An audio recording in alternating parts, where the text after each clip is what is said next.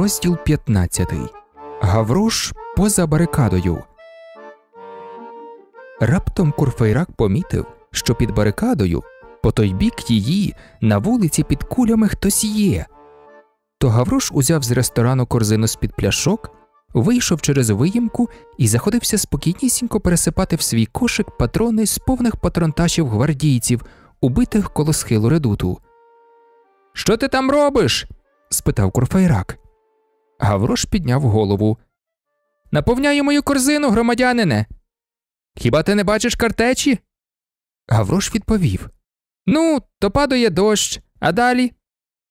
Іди назад. крикнув Курфейрак. Зараз. І Гаврош стрибнув ще далі на вулицю. Ми пам'ятаємо, що рота Фанніко, відступаючи, залишила по дорозі багато трупів. З двадцять мертвих лежали на бруківці там і тут упродовж всієї вулиці. Двадцять патронташів для Гавроша це цілий запас патронів для захисників барикади. Дим застилав вулицю, мов туман.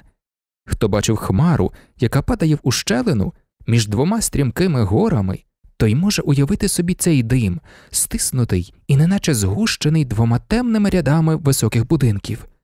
Він повільно підіймався вгору і безнастанно поновлювався. Через це темрява там більшала і затьмарювала навіть денне світло. Хоч яка коротка була вулиця, а бійці ледве бачили ворога на протилежному її кінці. Ця темрява, можливо, навмисне утворена тими, хто керував атакою барикади, була корисна для Гавроша. Завдяки складкам цієї димової завіси і своєму маленькому зростові він, не будучи баченим, спромігся пройти по вулиці досить далеко і, не наражаючись на велику небезпеку, спорожнив перші сім чи вісім патронташів. Він плазував на череві, плигав рачки, брав корзину в зуби, звивався, прослизав, струманів, перелазив гадюкою від мертвого до мертвого і спорожняв лядунки й патронташі з такою спритністю, як мавпа лущить горіхи. Гаврош був ще досить близько від барикади і, боячись притягти до нього увагу нападників, йому не кричали, щоб він повертався назад. На одному з трупів, трупі капрала, Гаврош знайшов порхівницю. На випадок спраги, сказав він, суючи собі її в кишеню. Просуваючись вперед, Гаврош добрався до місця, де дим від пострілів ставав уже прозорим. Прозорий він був настільки, що стрільці регулярного війська за своїми окопами з каменів і стрільці Національної гвардії, скупчені на розі вулиці, почали показувати один одному на якусь річ, що ворушилася серед диму.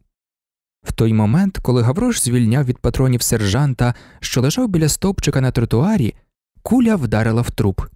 Ого, сказав Гаврош. Вони вбивають моїх мертвяків.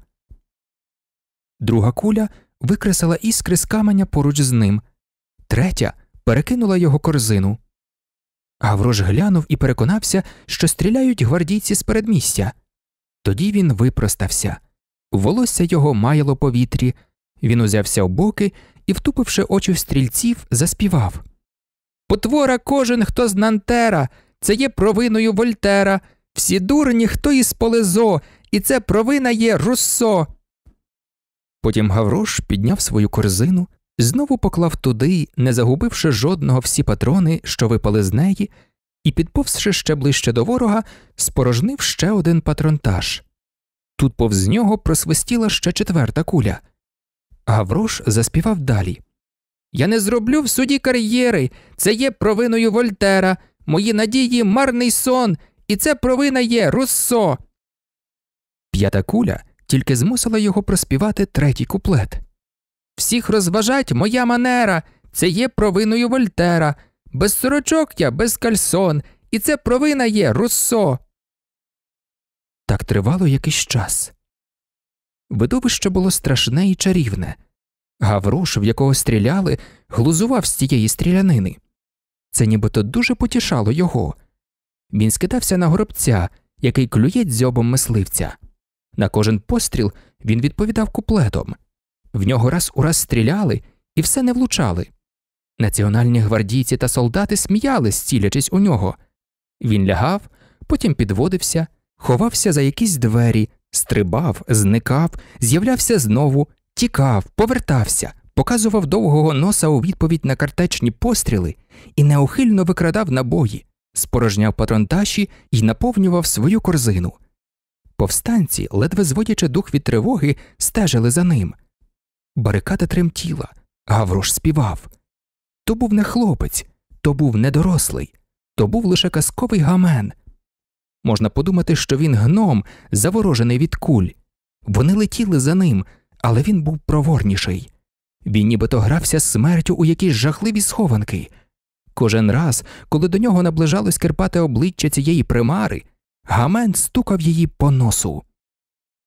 Нарешті одна куля, чи то краще націлена, чи то більше зрадлива, влучила в цю дитину блудний вогник.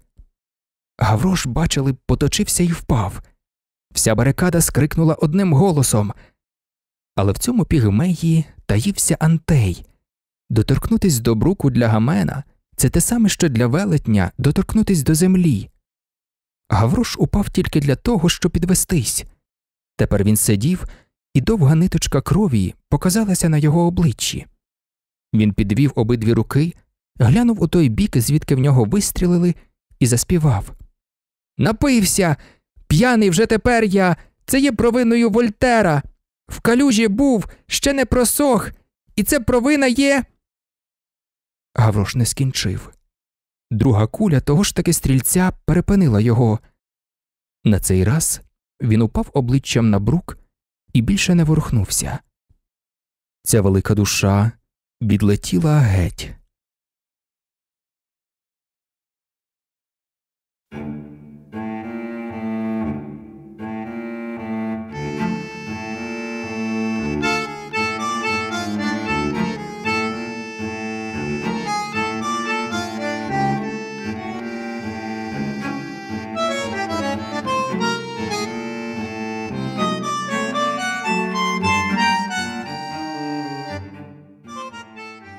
Розділ 16.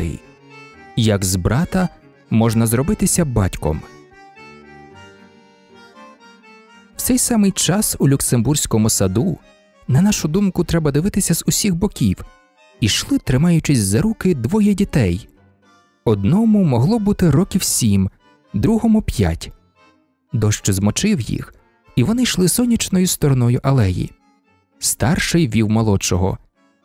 Вони були бліді та в лахмітті і скидалися на диких птахів. Я дуже хочу їсти, казав молодший. Старший з трохи опікунським виглядом вів брата лівою рукою, а в правій ніс паличку. В саду вони були самі. Сад був безлюдний, бо поліція з приводу повстання звеліла позачиняти всі ворота та хвіртки. Військо, яке стояло там бівуаком, за покликом виступило звідти і пішло у бій. Як опинилися тут ці діти? Може, вони вислизнули крізь прочинені двері якоїсь кондегардії? Може, десь неподалеку, біля застави Анфер або на обсерваторській площі, або на сусідньому перехресті, куди виходить будинок з написом на фронтоні Інвенерунт парвулюм панніс інволютум, тобто знайдено малиня, вдягнене в дрантя. Стояв барак блазнів, звідки вони втекли? Може, напередодні ввечері, прослизнувши непомітно в сад, коли його зачиняли, вони переночували в одному з павільйонів, де читають газети. В усякому разі, вони були вільні й бродили по саду. Бути бродягою і здаватися вільним це значить бути пропащою людиною. Ці бідні істоти справді були пропащі. Про двох тих дітей, як пам'ятає читач, клопотався колись Гаврош. То були ті самі сини Тенардіє, що жили в Маньйон, вважалися за дітей пана Жільнормана, а тепер це були листки, які впали з дерева і які перекочував по землі вітер. Їхній такий чистий за часів Маньйон одяг, в якому їх, наче афішу, демонстрували панові Жільнорману, остаточно зносився. Ці істоти відтепер належали до категорії відомих у статистиці покинутих дітей, що їх поліція виявляє, підбирає, губить і знову знаходить на Паризькому бруці. Тільки завдяки такому неспокійному дню могли ці нещасні опинитись у Люксембурзькому саду. Якби сторожі помітили їх, вони неодмінно прогнали б таких обідранців. Бідним дітям заборонено заходити до громадських садів, а слід було б подумати, що як діти вони мають право на квіти. Ці діти були тут завдяки зачиненим хвірткам саду. Вони порушили встановлений порядок, вони пробралися в сад і залишилися там. Зачинені хвіртки не дають ще відпустки сторожам. Догляд не повинен припинятися, але фактично він зменшується та послаблюється. Та й сторожі, схвильовані, як і всі, цікавлячись більше тим, що робиться поза садом, а не в ньому, не звертали на нього уваги і не помічали двох злочинців. Дощ ішов напередодні, падав трохи й ранком, але в червні на зливи не вважають. Через годину після бурі вже ледве помітно, що цей чудовий ясний день плакав. Земля влітку висихає так швидко, як щока дитини. В пору літнього сонцестояння світло опівдні, сказати б, завдає болю, воно забирає все, воно прилягає, нашаровується і немов присмоктується до землі. У сонця можна сказати спрага, злива це склянка води, дощ напивається враз. Ранком усе мокре, вдень скрізь курява. Немає нічого розкішнішого за вимиту дощем і висушено сонцем зелень. Це гаряча свіжість. Сади та луги, маючи в коренях своїх рослин воду, а в квітах сонце, стають неначе кадильницями фіміаму і напахчують своїм ароматом усе. Все сміється, співає і приваблює. Почуваєш якесь солодке сп'яніння. Весна це тимчасовий рай, сонце допомагає людям привчатись терпіти. Дехто й не хоче більшого. Є люди, які, маючи над своєю головою небесно блакить, кажуть цього досить. Це мислителі, захоплені різними дивами, які в обожуванні природи черпають байдужість до добра і до зла, ті, хто щасливі, споглядають космос і не цікавляться людиною, що не розуміють, як можна думати про якихось голодних або спраглих, про голих узимку, про викривлений хребет якогось маляти, про вбоге ложе, про помешкання на горищі, про тюрми, про лахи молодих дівчат, які трусяться від холоду, коли можна мріяти під деревами, мирні, страшні характери, безжально задоволені з усього. І дивна річ їм досить нескінченного, а велику потребу людства, те, що можна обійняти, скінченне, вони ігнорують. Про скінченне, яке пропускає прогрес, насолоду від роботи, вони й не думають. Безконечне, що його утворює людська й божественна комбінація нескінченного зі скінченним, вислизає від них. Вони всміхаються, аби їм бути лице в лице з безкраєм. Ніколи радості, завжди екстаз. Захоплюватися ось їхнє життя. Історія людства для них тільки роздріплений замисел все не там, справжнє все поза нею. Навіщо займатися такою дрібницею, як людина? Людина страждає? Можливо. А он подивіться на Альдебаран, який сходить. У матері нема молока, і новонароджений умирає з голоду? Не знаю. А он гляньте на чудову розетку в розрізі заблоні ялини під мікроскопом. Хіба можна порівняти до цього найкращі манільські мережева? Ці мислителі забувають любити. Зодіак впливає на них так сильно, що перешкоджає їм бачити дитину, яка плаче. Бог затемнює їм душу. Це великі і разом з тим малі душі. До них належав Горацій, до них належав Гьоте, може, Лафонтен, неперевершені егоїсти нескінченного, спокійні спостерігачі горя, вони не бачать Нерона, якщо хороша погода. Сонце ховає від них багаття, вони дивитимуться на гільйотину, шукаючи в ній світлових ефектів, вони не чують ні криків, ні ридань, ні передсмертного хрипіння, ні дзвону на сполох. Для них усе добре, бо існує місяць травень. Вони кажуть, що вдоволені, коли над їхніми головами пливуть пурпурові з золотом хмари, і вирішили бути щасливими, коли світитиме сонце і співатимуть птахи. Це сліпі щасливці, які не підозрюють, що вони жалюгідні, а вони безперечно жалюгідні. Хто не плаче, той не бачить. Ними треба захоплюватись і жаліти їх, як ми жаліли б і захоплювалися істотою, що у собі водночас сполучає день і ніч, і в якої під повіками нема очей, а посеред чола зірка. На думку декого, байдужість цих мислителів найвища філософія нехай, але в цій вищості є своя немічність. Можна бути безсмертним і кривим, як вулкан, наприклад, можна бути більше, ніж людиною, і менше, ніж людиною, недовершений безкрай, властивий природі. Хто знає, чи не сліпе сонце? А тоді на кого ж звірятися? Солем квіз діцере фальсум аудеат. Тобто, хто насмілиться сказати, що сонце облудне? Значить, навіть деякі генії, деякі найвидатніші люди, люди зорі можуть помилятися? Те, що на горі, на самому вершечку, в зеніті, те, що посилає на землю стільки світла, бачить мало, бачить погано, не бачить зовсім? Хіба це не повинно доводити до розпачу? Ні. Але що ж тоді над сонцем? Бог. Годині об 11 ранку, 6 червня 1832 року, спустілий і безлюдний люксембурзький сад був чарівний. Посаджені в шаховому порядку дерева давали тінь, а квіти виповнювали ароматом повітря. Знавіснілі під полуденним світлом галузки, здавалося, намагалися обійняти одна одну. В кленах метушилися й шуміли вільшанки, горобці гучно раділи, дятли бігали по стовбурах каштанів і запускали дзьоби в дірочки на корі. Клумби визнавали за законне королювання лілій. Найблагородніший з ароматів вилучає білість. Гострий запах воздики наповнював повітря. Старі, ще часів Марії Медічі ворони кохалися серед густих дерев. Сонце золотило, забарвлювало в пурпур і запалювало тюльпани, що являють собою всі різновиди полум'я, обернені на квіти. Навколо грядок з тюльпанами кружляли рої бджіл, іскри від цих квітів полум'я. Все тут було миле та веселе, навіть цей потворний близький дощ, яким мали скористатись конварії та жимолость, і в якому не було нічого загрозливого, хоч ластівки літали тривожно, зовсім низько над землею.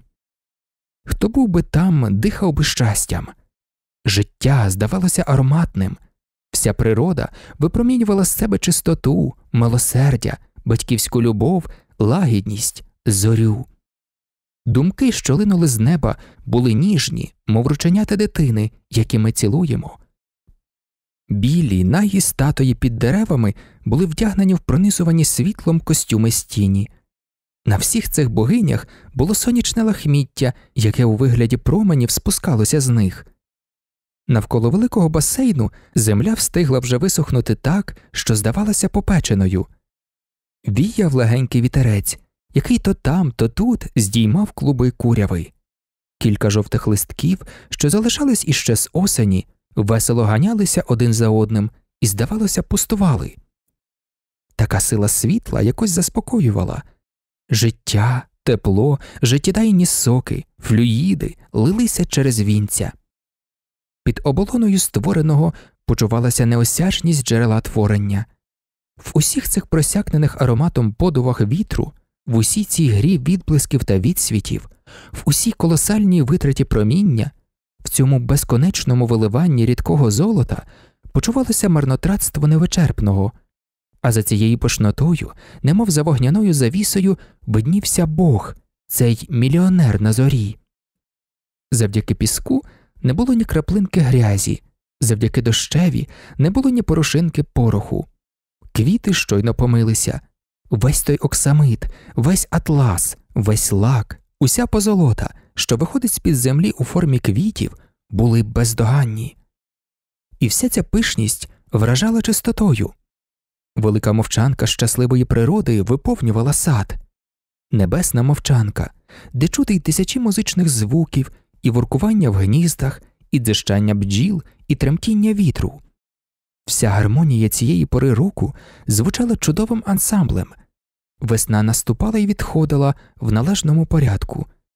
Лілії відсвітали, жасмин починав квітнути, деякі квітки забарилися, а деякі комахи з'явились зарано.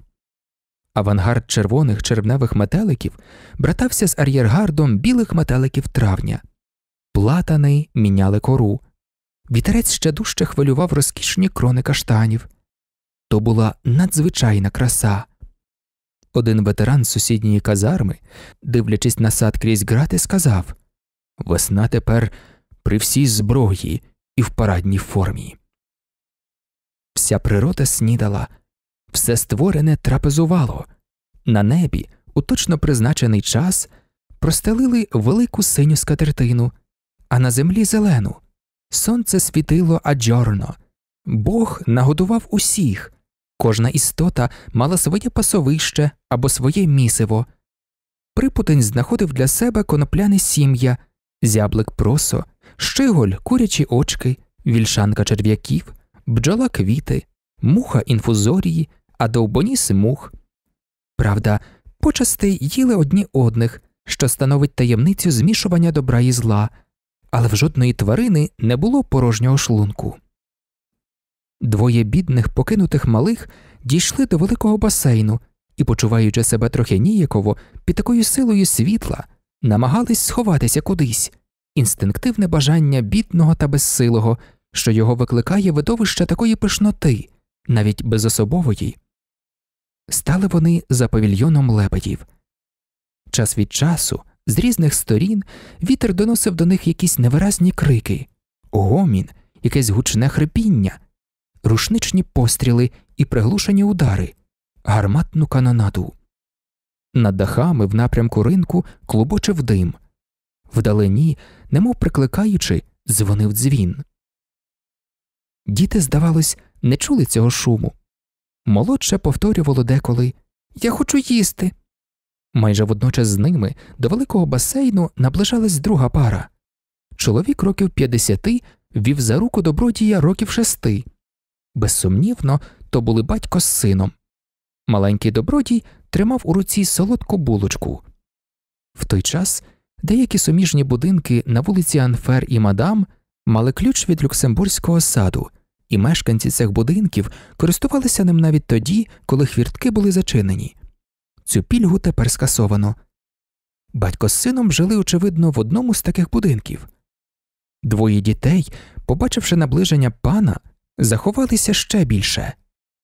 То був якийсь буржуа, може, той самий, що біля цього ж таки басейну присутності Маріуса, охопленого любовним жаром, радив колись своєму синові уникати надміру. Буржуа мав добродушний і важний вигляд, а рот його, ніколи не закриваючись, завжди всміхався. Така механічна усмішка пояснюється занадто розвиненими щелепами, занадто щільно обтягненими шкірою, і показує більше зуби, ніж душу. Хлопець, що тримав у руці надкушену булочку, наївся, здавалося, до несхочу. На хлопчику з нагоди заколоту була форма Національної гвардії, а батько з обережності був у цивільному костюмі. Біля басейну, де плавали два лебеді, вони спинилися. Буржуа нібито мав особливу пристрасть до лебедів. Він навіть скидався на них ходою. В ту хвилину лебеді плавали. До цього у них спеціальний талант і були дуже красиві. Якби двоє малих слухали, їхній вік дозволив би їм зрозуміти сказане, то вони могли б ухопити такі слова важного буржуа. Людина розумна, казав він синові, задовольняється малим. Ось глянь на мене, синку, я не люблю пишноти. На мені ніколи не побачать костюма, прикрашеного золотом або самоцвітами. Цей фальшивий блиск я залишаю для людей погано вихованих. Тут до них з боку ринку долинули голосні крики в супроводі бовкання дзвонів і гомону натовпу. Що це таке? спитала дитина. Сатурналії, відповів батько. Раптом погляд його впав на двох маленьких пошарпанців, що нерухомо стояли за зеленим павільйоном для лебедів. А ось і початок, сказав він і по короткій паузі додав. І до цього саду добралася анархія. Син тим часом відкусив шматочок булочки, виплюнув його і несподівано зайшовся плачем. Чому ти плачеш? спитав батько. Я вже не голодний, пояснив син. Усмішка батька стала ще помітнішою. Для того, щоб їсти солодку булочку, зовсім не треба бути голодним. Мені обридла ця булочка, вона черства. Ти не хочеш більше? Ні. Батько показав йому на лебедів. Кинь цим безслоногим. Хлопчик завагався. Коли не хочеш їсти булочку сам, це ще не значить, що її треба віддавати. Будь гуманним, умовляв батько. Тварин слід жаліти. І, взявши в сина булочку, він кинув її в басейн. Булочка впала досить близько від краю. Лебеді були далеко, на середині басейну, і були захоплені якоюсь здобиччю. Вони не бачили ні буржуа, ні булочки. Помітивши, що булочка може загинути марно і не бажаючи цього, буржуа почав схвильовано виробляти різні рухи і нарешті звернув на себе увагу лебедів. Вони побачили щось у воді, повернулись іншим бортом, мов кораблі, і з блаженною величністю, яка личить білим тваринам, попливли до булочки. А лебеді розуміють сигнали, сказав батько, вдоволений своєї дотепності. В цей момент далекий гамір у місті раптом став ще голоснішим. На цей раз він був зловісним. Деякі подови вітру промовляють ясніше, ніж інші. Вітер, який віяв тоді, доніс виразні звуки биття в барабан, крики, стрільбу з залпами і похмурі відповіді дзвона та гармати. Це збіглося в часі з чорною хмарою, яка раптом затулила сонце. Лепеді не допливли ще до булочки. Повертаймо додому, сказав батько. Атакують тюільрі. Він знову взяв сина за руку і додав Відстань між Люксембургом і Тюільрі невелика, така як між званням короля і пера. Зараз почнеться стрілянина. Він глянув на хмару. Та й дощ, може, буде. В цю справу втручається небо. Молодша галузь, засуджена безнадійно. Повертаймо швидше. Я хотів би бачити, як лебеді їдять булочку, сказало дитя. Це було б нерозважливо, відповів батько і повів свого маленького буржуа сина з саду. Синові шкода було залишати лебедів, і він повертав голову до басейну, аж поки його не сховала від них купа дерев. Але до булочки водночас з лебедями наближались і двоє маленьких бродяг. Булочка плавала на воді, молодший дивився на неї, старший на буржуа, що віддалявся. Батько з сином увійшли в лабіринт алей, який веде до великих східців серед масиву дерев від вулиці Мадам. Як тільки їх не стало видно, старший проворно ліг черевом на округлий край басейну і, тримаючись за нього лівою рукою, мало не падаючи в воду, нахилився і простяг до булочки праву руку з паличкою. Побачивши ворога, лепеті заспішили і, поспішаючи, зробили послугу маленькому ловцеві. Вода перед лебедями сколихнулася, і одна з концентричних хвиль обережно підштовхнула булочку до палички хлопця. Коли лебеді підпливали, паличка доторкалась уже до булочки. Хлопець швидким рухом підігнав її до себе, сполохав лебедів, схопив булочку і встав на ноги. Булочка була мокра, але їм хотілося і їсти, і пити. Старший поділив її на дві нерівні частини, меншу узяв собі, більшу дав братові і сказав йому Заткни собі цим пельку.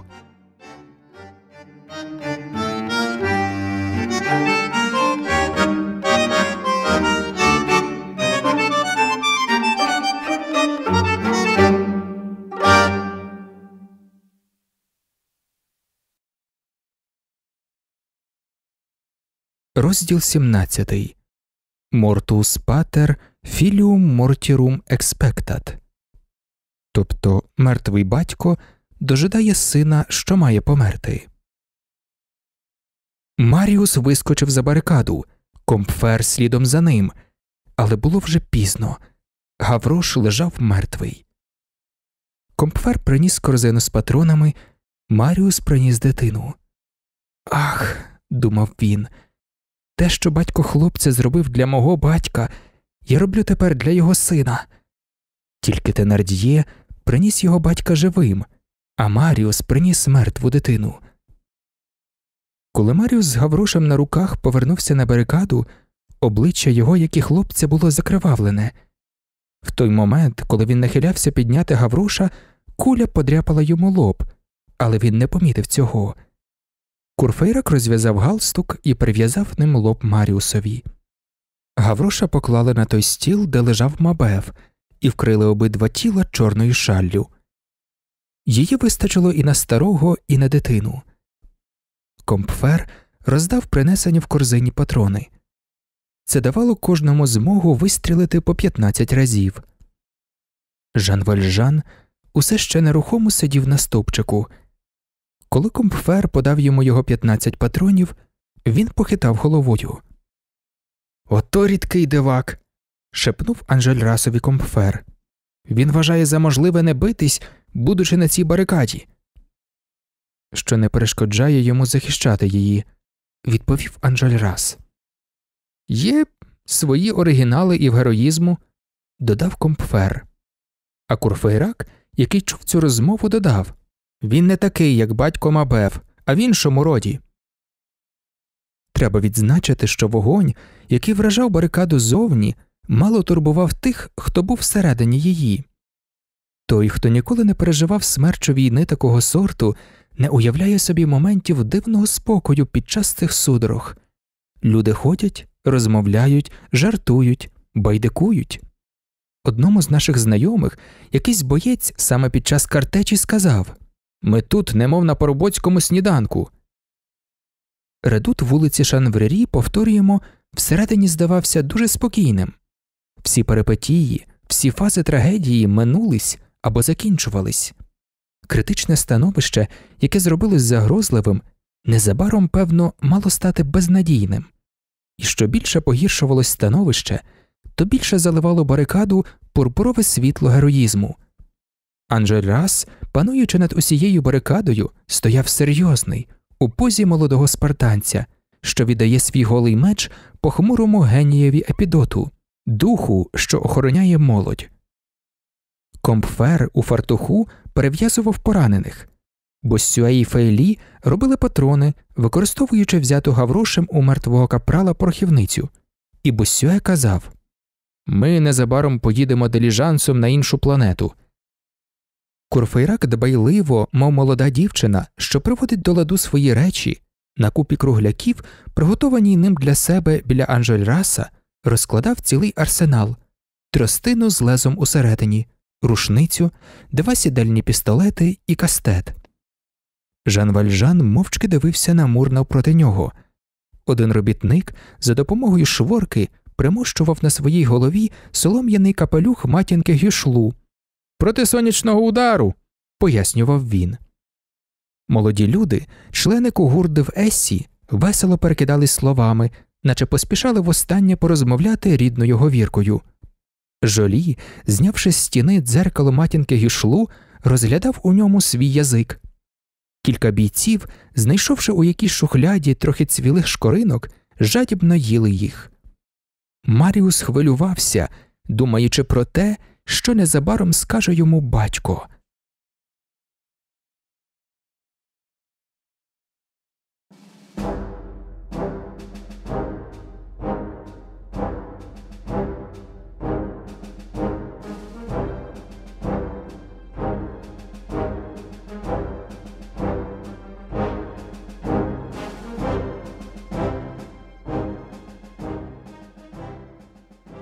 Розділ 18. Яструб, що сам став здобиччю. Підкреслимо одне психологічне явище властиве барикадам не треба оминати нічого, що характеризує цю дивовишну вуличну боротьбу. Хоч який незвичайний, ми щойно про це казали панує там спокій, але барикада для тих, хто захищає її, все ж таки залишається якимось привидом. У громадянській війні є щось таємниче, туман невідомого обгортає всі ці страшні сполохи, революції це сфінкси, і тому, хто був на барикаді, вона здається сном. Розповідаючи про Маріуса, ми показали, що почуває там людина, а далі ми побачимо й наслідки. це і більше, і менше, ніж життя. Вийшовши з барикади, не пам'ятаєш уже, що ти там бачив. Там ти був жахливим, і сам не знаєш цього. Там тебе оточували ідеї, бійці з людськими обличчями. Голова була у сяйві майбутнього, лежали трупи і стояли привиди. Години були колосально довгі і здавалися вічністю. Жив ти в смерті. Проходили якісь тіні. Хто були вони?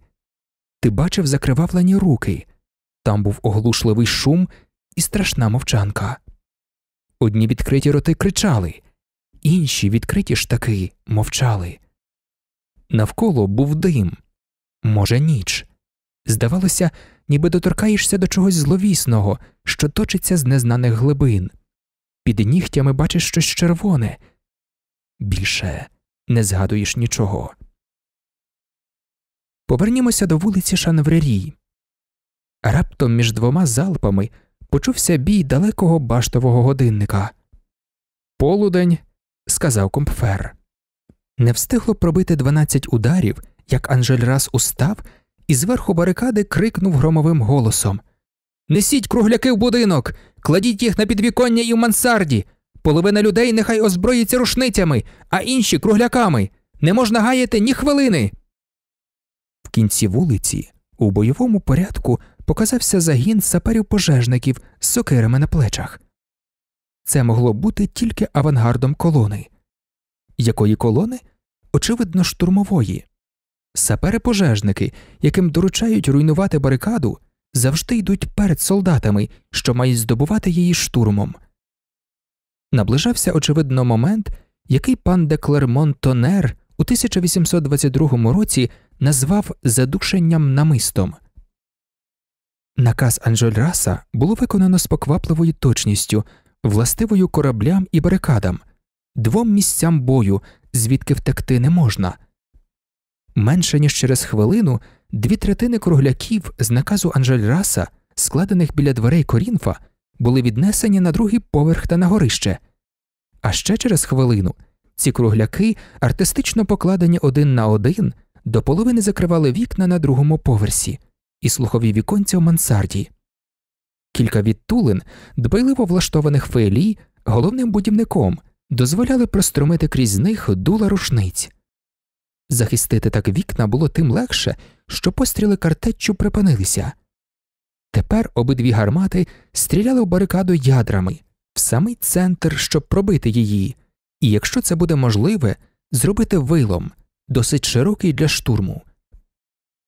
Коли кругляки, призначені для останніх моментів оборони, лежали вже на своєму місці, Анжель раз звелів принести на другий поверх пляшки, які він поставив під столом, де лежав Мабеф.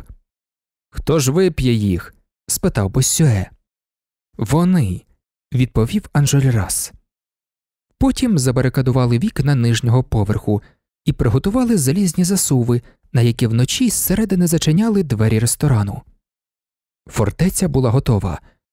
Барикада стала валом, ресторан бойовою баштою. Рештою кругляків затулили виїмку в стіні барикади. Оборонці барикади завжди мусять берегти військові припаси.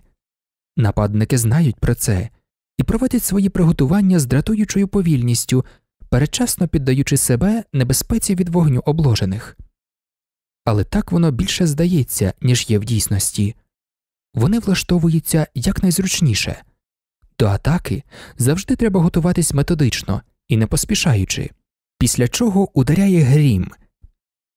Ця повільність дозволила Анжель Расові ще раз все оглянути і все вдосконалити. Він почував, що коли таким людям доводиться вмирати, то їхня смерть мусить бути шедевром. Ми з тобою командуємо, сказав він Маріусові. Я буду давати розпорядження в будинку, а ти залишайся на вулиці і спостерігай. Маріус став наверх барикади. Анжель раз звелів забити гвістками двері кухні, перетвореної, як ми вже казали, на лазарет. Щоб у поранених не влучали осколки ядер, пояснив він. Накази в нижній залі він давав уривчастим, але цілком спокійним тоном. Фелі вислуховував їх і відповідав за всіх. На другому поверсі майте на поготові сокири, щоб робити сходи. Є вони у вас? Є, сказав Фейлі. Скільки? Дві сокири і сікач. Добре. У нас на ногах 26 бійців. Скільки рушниць? Тридцять чотири. Вісім зайвих. Майте їх зарядженими під руками, як і всі решту. При поясі шаблі та пістолети, 20 людей на барикаду, 6 на засідку мансарді і біля вікон другого поверху, щоб стріляти в нападників крізь бійниці між кругляками. Нехай ніхто не залишається без роботи. Як тільки барабан почне бити на атаку, 20 чоловік зараз же повинні бігти на барикаду. Ті, що прибіжать першими, дістануть кращі місця. Віддавши ці розпорядження, він повернувся до Жавера. Я й про тебе не забуваю, сказав він. І, поклавши на стіл пістолет, додав Останній, хто буде виходити звідси, пристрелить голову цьому шпигунові. Тут? спитав чийсь голос. Ні, не будемо змішувати його труп з нашими.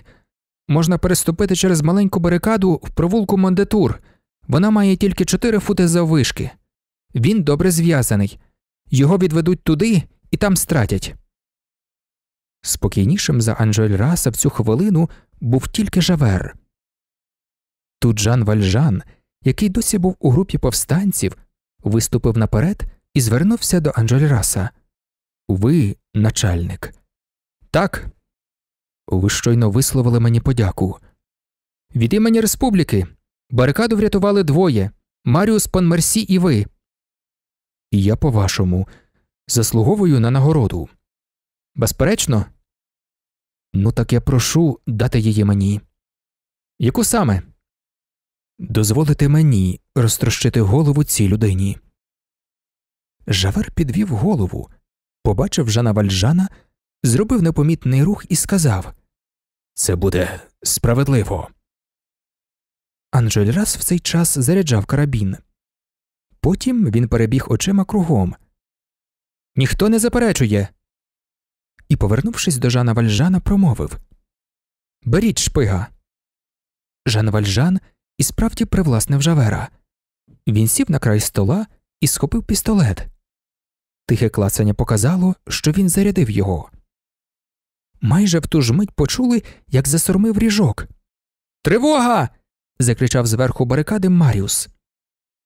Жавер засміявся властивим йому беззвучним сміхом і, пильно дивлячись на повстанців, сказав їм Становище ваше не краще за моє. Всі на вулицю. гукнув Анжель Рас. Повстанці з гамором вибігли з ресторану, а Жавер кинув їм навздогін вже даруйте на слові поглумку на спину. Побачимось.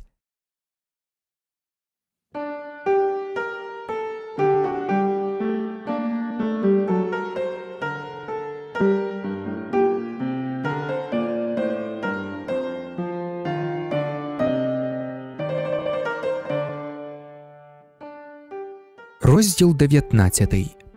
Жан Вальжан мститься. Залишившись сам на сам з Жавером, Жан Вальжан розв'язав вірьовку, якою полонений поперек тулуба був прив'язаний до стола і вузол якої був під столом. Потім він жестом звелів йому встати. Жавер скорився з неописанною усмішкою. Це була сконденсована вищість, нехай і закутої, але влади. Жан Вальжан узяв Жавера за ремінь, як беруть за лямку в'ючну тварину, і, тягнучи його за собою, вийшов з ресторану дуже повільно, бо в Жавера були зв'язані ноги, і він міг пересуватися тільки дрібними кроками. В руці у Жана Вальжана був пістолет. Так пройшли вони внутрішню трапецію барикади. Захоплені чеканням неминучої атаки, повстанці стояли спиною до них. Маріус, який самотньо стояв на лівому фланзі барикади, бачив їх. Цю групу ската і засудженого осявало, здавалося йому похоронне світло, що було і в його душі. Жан Вальжан звелів Жаверові перелізти через маленьку барикаду провулку Мондетур, ні на хвилину не випускаючи його з рук. Зв'язаний Жавер не без зусиль виконав розпорядження. Подолавши цю перепону, вони вдвох опинилися в провулку наодинці. Тепер їх ніхто вже не бачив. Ріг будинку ховав їх від очей повстанців. За кілька кроків лежала жахлива купа перетягнених сюди з барикади трупів. Серед мертвих було видно бліде обличчя, розпатлене довге волосся, пробиту кулою руку і напівголу жіночу грудь. То була Епоніна. Жавер скоса глянув на покійницю і цілком спокійно зауважив півголосом Здається, я знаю цю жінку. І він повернувся до Жана Вальжана. Жан Вальжан узяв пістолет під пахву і кинув на Жавера погляд, який, здавалося, говорив Жавер, це я. Бери реванш, відказав Жавер. Жан Вальжан витяг з кишені ніж і відкрив його. Перо. скрикнув Жавер. Маєш рацію. Він краще пасує до тебе. Жан Вальжан перерізав ремінь на шиї Жавера, опісля вірьовку на руках, потім нахилився, перерізав також вірьовку на ногах, випростався і промовив Ви вільні. Здивувати Жавера було нелегко, але хоч як він володів собою, а на цей раз не міг приховати хвилювання. Він стояв уражений і не рушив з місця. Не думаю, щоб я вийшов звідси, вів далі Жан Вальжан. А втім, якщо випадково так трапиться, то живу я під прізвищем Фошлевана на вулиці озброєної людини номер 7 Жавер насупився, мов тигр, вищерив зуби і пробурмотів Стережіться. Ідіть, сказав Жан Вальжан. Жавер перепитав Ти кажеш Фошлеван на вулиці озброєної людини. Номер сьомий. Номер сьомий. Півголосом повторив Жавер. Жавер застебнув свій сюртук на всі гудзики, по військовому випнув груди, зробив півоборота, схрестив руки, підпираючи однією підборіддя, і пішов у напрямі до ринку. Жан Вальжан проводжав його очима. Ступивши кілька кроків, Жавер повернувся і крикнув Ви обридли мені. Краще вбийте мене. Він і не помітив, що не казав уже Жану Вальжану ти. Забирайтесь, відповів Жан Вальжан. Жавер пішов повільною ходою. Через секунду він повернув за ріг вулиці проповідачів. Коли Жавер зник, Жан Вальжан вистрілив з пістолета в повітря. Потім він повернувся на барикаду і сказав Готово. Тим часом сталося ось що. Маріус, заклопотаний більше тим, що робиться на вулиці, а не на барикаді, не дивився досі на шпигуна, прив'язаного до стовпа в темному кутку зали. Коли ж Маріус при денному світлі побачив, як Жавер, ідучи на смерть, переступав через барикаду, він упізнав його. Він згадав поліцейського інспектора з вулиці Понтуаз, що дав йому два пістолети, використані ним Маріусом тут же на барикаді, і пригадав не тільки його фізіономію, а й прізвище. Спогад цей був проте туманний і невиразний, як і взагалі всі його думки. Він не стільки з певністю, скільки у формі запитання сказав собі чи не той це інспектор поліції, який називався Жавером? Може, він устигне ще заступитися за цю людину, але насамперед треба дізнатися, чи Жавер це. Маріус окликнув Анжельраса, який тільки но зайняв свій пост на протилежному кінці барикади. Анжельрасе. Ну, як він зветься, той чоловік? Хто? Та агент поліції. Ти знаєш його ім'я? Безсумнівно, він сказав його нам. Як же його звати? Жавер. Маріус випростався. Всю мить почувся пістолетний постріл. Потім Жан Вальжан з'явився і крикнув Готово. Холодний морок прийняв серце Маріуса.